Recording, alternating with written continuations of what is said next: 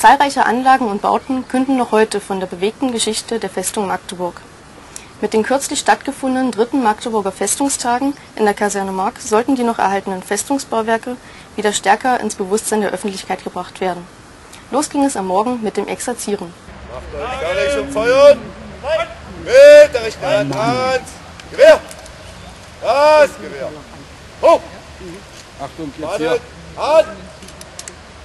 Wir gehen weg, wir gehen weg. Feuer! Langen! Macht euch! Fertig! Macht euch fertig zum Feuer! Mit der rechten Hand! Hand! Wer? Das! Hoch! Hand!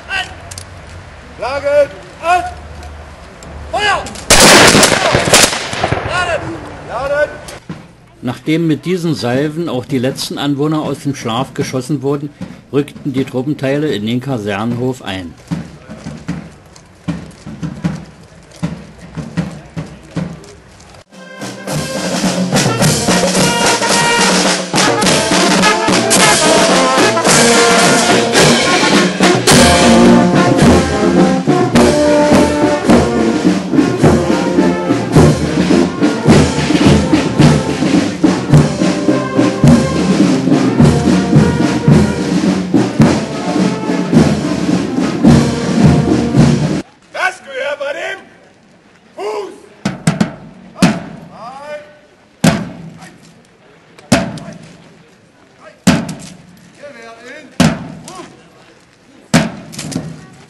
Fast hätten wir ihn in seiner Verkleidung nicht erkannt. Bernhard May von den Festungsfreunden.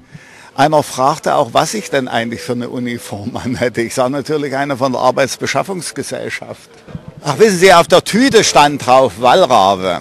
Wallrabe ist ja der große Festungsbaumeister. Man könnte auch sagen, der war Bang Preußens, der ja auch eine ganz bestimmte Festungsmanier, Festungsbauweise, die altpreußische verfolgt hat. Kernfestung, Außenforce.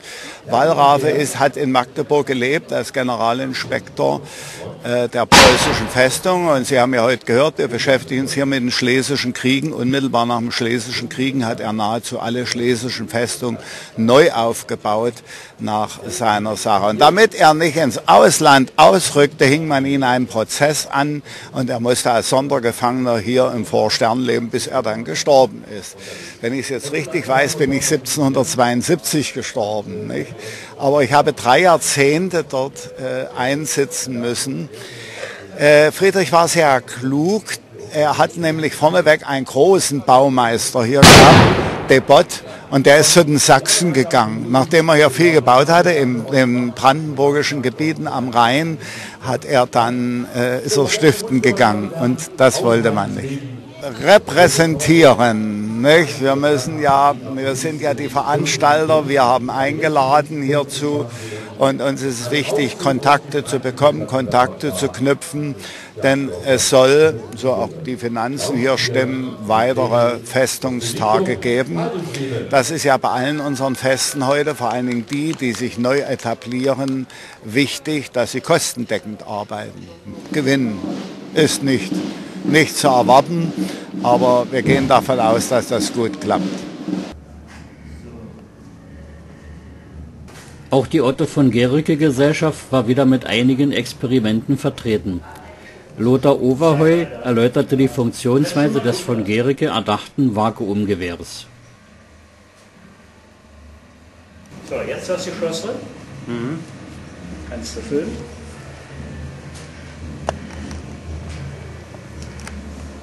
Gut.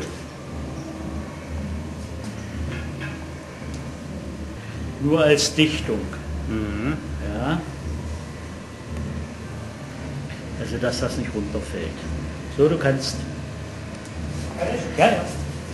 So, jetzt wird das Rohr evakuiert, also Luft leer gezogen. Und wenn das Rohr jetzt luftleer ist, werden wir hier hinten abziehen. Gehen Sie mal rechts, gehen Sie mal ein bisschen weg. Und der äußere Luftdruck, der uns umgibt, will hier den Ausgleich haben und wird jetzt hier hineinströmen und das Geschoss vehement nach vorne bewegen. Fertig? Los!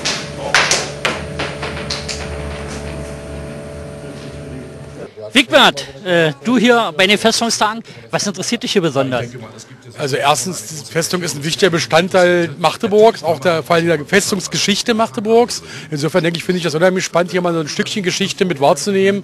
Und ich finde das eben faszinierend, dass hier Leute da sind, die ja ehrenamtlich wirklich dieses, diese Vermarktung Magdeburgs an der Stelle auch vorantreiben. Und wenn wir was haben zu werben, dann ist es das.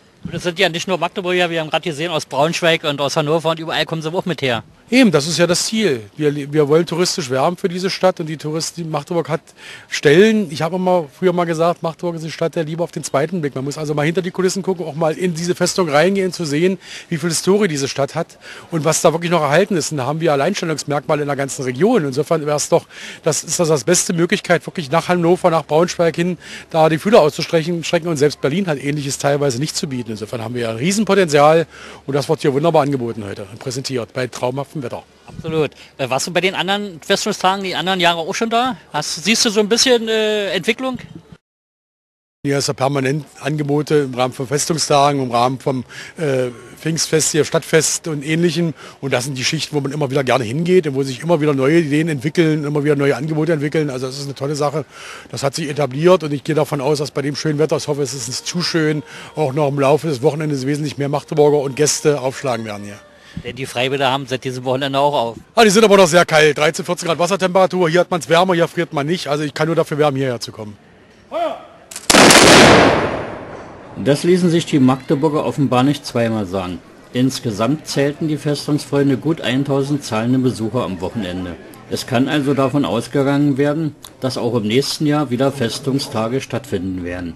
Das zweite Maiwochenende kann man sich also schon mal im Kalender vormerken. Und auch das nächste Spektakel in der Kaserne Mark wirft schon seine Schatten voraus, wie dieses Plakat beweist.